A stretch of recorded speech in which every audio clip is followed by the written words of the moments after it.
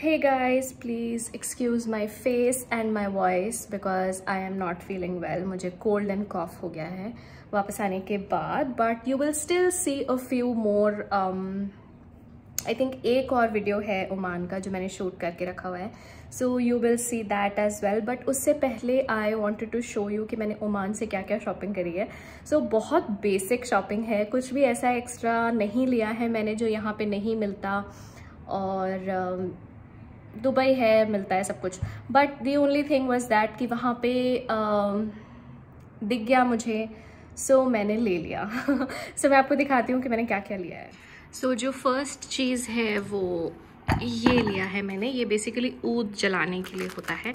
And इसके अंदर इस तरीके से ये आ, एक सेक्शन है जिसके अंदर कोल और ऊद रख सकते हैं। And then it will burn and बहुत अच्छी खुशबू आती है। उसके साथ में दिस इज़ ऊदी कहते हैं आई थिंक इसको I don't even know so ये एक मैंने इसकी फ्रेगरेंस ली है और एक सेम कनिका ने भी लिया था।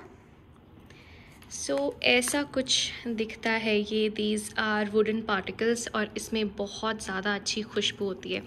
So I am looking forward to trying this जब कुनाल घर पे नहीं होंगे मैं तब ट्राई करूँगी बिकॉज़ उनको बहुत ज़्यादा शौक नहीं है इन सब चीज़ों का। Okay okay. Coming to this वहाँ पे एक स्टोर है कॉल्ड नैन्सी जहाँ सारा इंडियन सामान मिलता है।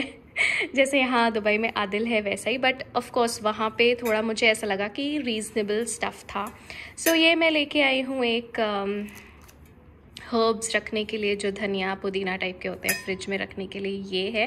मुझे बहुत टाइम से चाहिए था so I got this then I got these very good quality bowls type के हैं ये स्टील के। एंड काफ़ी रीज़नेबल रेट में थे तो मैं दोनों बच्चों के लिए एक एक लेके आई हूँ।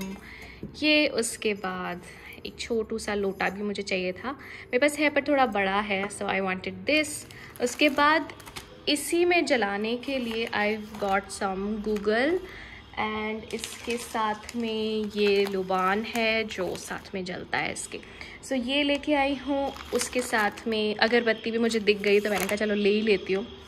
और होली आने वाली है सो मेरे लड्डू गोपाल के लिए मैं लेके आई हूँ ये बाल्टी और पिचकारी।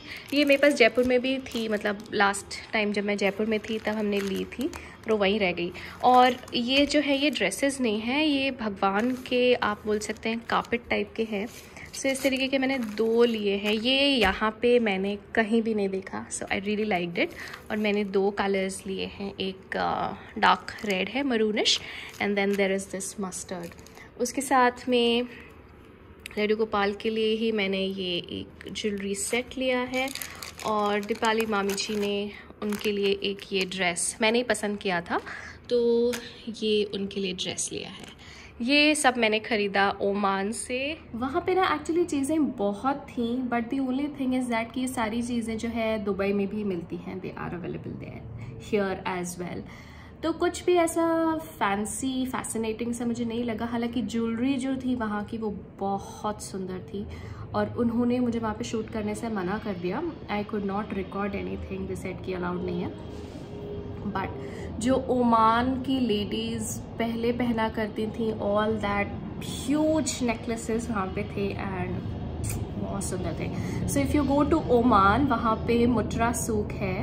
I think this is how is it is pronounce so वहाँ पे मटरा सूख है, वहाँ पे ज़रूर जाना। बहुत अच्छी शॉपिंग हो जाएगी। और मैं लास्ट टाइम भी एक बार गई थी, आज से करीब तीन साल पहले, तभी मैं कुछ सामान लेके आई थी। सो ऑब्वियसली कुछ ऐसा नया लेटेस्ट वहाँ पे आया नहीं था तो मुझे बस, मुझे जो चाहिए था वो बेसिकली ये चाहिए था and I got this this time पे ये अराउंड उन्होंने कुछ 65 दरहम का बोला था 6.5 रियाल का which he came down to five dirham fifty dirham sorry five riyal अच्छा एक और चीज़ I forgot to show you this one more thing so I got it जो एक चीज़ और मैं लेके आई वो ये सोप्स लेके आई मैं। आपने देखे होंगे मैंने पिक किए थे वहाँ पे।